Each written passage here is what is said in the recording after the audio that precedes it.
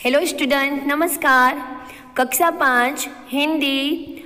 तो बच्चे, आप लोगों का एफ़ ए थ्री की एग्ज़ाम पूर्ण हो गई है। तो अब हम एफ़ ए फोर की ओर जाएँगे बच्चों।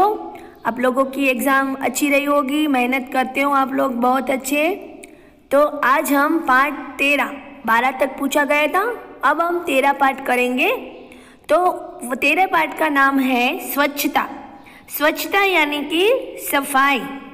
तो सफ़ाई कैसी रहनी चाहिए, उसके बारे में हम चर्चा करेंगे। तो सफ़ाई रखते समय हमें क्या क्या ध्यान रखना है, कैसी सफ़ाई करनी है, स्वच्छ जगत बनाना है, सुंदर जगत का निर्माण करना है, उनके बारे में हम जानकारी प्राप्त करेंगे बच्चों। तो आइए बच्चों, अपने text book is open pencil लीजिए हाथ में। Okay student. तो हम पेंसिल लेंगे, जैसे मैं बोलती जा रही हूँ, और बीच में जिनके मैंने अर्थ लिखे हैं, वो भी आपको लिखना है। एक दिन एक दिन अजय ने मोहन को अपने जन्मदिन पर बुलाया। जन्मदिन यानी कि सालगिरह। मोहन ने उसे उपहार में देने के लिए कहानियों की एक पुस्तक खरीदी। उपहार यानी कि भेंट, तोहफा, जो आप बोलते हो, गिफ्ट। तो जन्मदिन के दिन आप क्या देते हो? भेंट देते हो ना? गिफ्ट देते हो? तो वह उसने एक क्या खरीदी थी? स्टोरी बुक, यानी कि कहानियों की पुस्तक। उसे रंगीन कागज़ में लपेटा और अजय के घर चल पड़ा। आप भी बच्चों, किसी का जन्मदिन होता है फ्रेंड्स का, तभी आप क्या करते हो? गिफ्ट पेपर उन पर फोल्ड करते हो ना? इसी तरह वह भी रंगीन कागज़ में उनको लपेट कर अजय के घर देने के लिए चल पड़ा। जैसे ही मोहन अजय की गली में पहुँचा, उसके ऊपर केले का एक छिलका आ गिरा। मोहन अजय की गली में, गली यानी कि मोहल्ला, जो हमारी शेरी होती है, आप लोग बोलते हो ना गुजराती में, उसके ऊपर क्या गिरा? एक केले का छिलका। छिलका यानी कि जो फल का ऊपर का जो आवरण होता है, जो पहना हुआ होता है, उनका, उनके ऊपर जो छिलका था, वो गिरा। छी छी, कितनी बुरी आदत है? सड़क पर छिलका फेंकना। मोहन ने मन में सोचा, उसने छिलका उठाया और इधर उधर देखा। हमारे पे कोई कोई ऊपर कचरा गिरता है तो हम भी ऐसे कहते हैं ना। इसी तरह अजय के अजय के मोहल्ले में पैर रखते ही मोहन के सिर पर केले का छिलका गिरा था। इसीलिए उसने क्या किया? छिलका उठाकर इधर उधर देखा। कुछ ही दूर में उसे एक कूड़ादान दिखाई दिया। कूड़ाईदान यानी कि कचरा का डिब्बा। जो कचरा डालने का डिब्बा होता है, जिनको आप इंग्लिश में बोलते हो, डस्टबिन, उसने छिलका उसमें डाल दिया। बहुत सा कूड़ा कूड़ेदान के बाहर फैला हुआ था।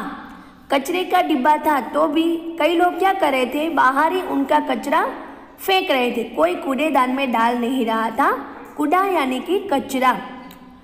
वहाँ मक्खियाँ भी भिनक रही थी। बच्चों, बहुत सारा कचरा होता है तो वहाँ क्या होता है मक्खी होती है, मच्छर होती है भिनक रही यानी कि उसके आसपास उनका आवरण जो होता है, वो मंडराती रहती थी। चारों ओर गंदगी फैली हुई थी। कुछ और आगे बढ़े तो मोर ने बड़ी बदबू आई। बच्चों, कचरा फेंकने से जो बदबू आती है कचरे में से, वह थोड़ी देर में सारी जगह फैलने लगी। उसने देखा, नालियों में कूड़े के कारण पानी भी रुका हुआ था। बहुत कचरा होता है तो जो गटर, जो आप बोलते हो ना, गटर लाइन तो उनको हिंदी में बोलते हैं नाली।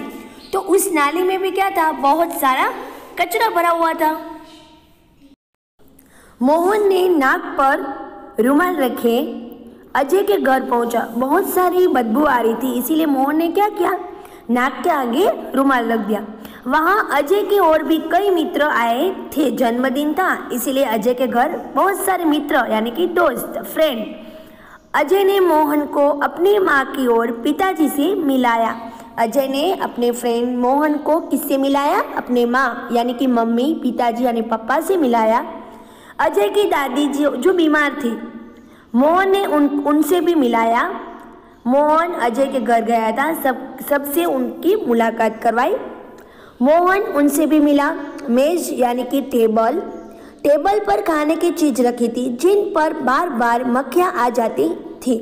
क्यों मक्खियाँ आ जाती थी? क्योंकि हमारे मोहल्ले में बहुत सारी गंदगी होती है तो उनकी मक्खियाँ चारों ओर फैलती है, हमारे घर तक भी पहुँचाती है, और जो हमने जो खाने की चीज़ रखते हैं, उनका, उन पर भी वो भिनकती रहती है।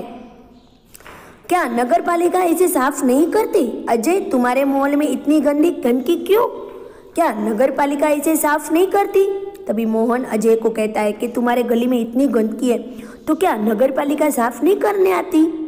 अजय की माताजी ने कहा, बेटा नगर पालिका की गाड़ी आया करती है जगह जगह कूड़ेदान भी है, पर कुछ लोग उनमें कूड़ा नहीं डालते। उसकी मम्मी कहती है, बेटा नगर पालिका की गाड़ी, यानी कि जो कूड़ेदान डालने वाला, जो गाड़ी वाला आता है, वो तो आती है, लेकिन जगह जगह जो लोग कूड़ेदान पड़ा है तो भी उसमें कचरा कोई नहीं डालता। सब लोग बाहर ही फेंकते रहते हैं। ये कूड़ा सड़क पर ही फेंक देते हैं, इसीलिए यहाँ सफ़ाई नहीं रहती। तो इसी तरह स्टूडेंट आपको भी ये ध्यान में रखना है कि अगर आपके आसपास कूड़ादान है, यानी कि डस्टबिन है तो हमें कचरा किसमें डालना है? कूड़ेदान में। हमें कूड़ा ऐसे ही, जहाँ तहाँ नहीं फेंकना है। आवश्यक जगह पे हमें ऐसे ही लगे तो कचरा उठा के भी हमें उसमें डाल देना है, स्वयं, यानी खुद को। खुद को आपको अच्छी तरह सफ़ाई करने के लिए अलर्ट रहना पड़ेगा। इसी तरह इस पार्ट में स्वच्छता के बारे में क्लीननेस के बारे में बहुत जानकारी दी है। तो आज हम शांति से इसका भाग एक समझेंगे और फिर से दूसरा पार्ट है जो हमारा दूसरा भाग, वह हम नेक्स्ट वीडियो में जानकारी लेंगे। तो बच्चों थैंक यू स्टूडेंट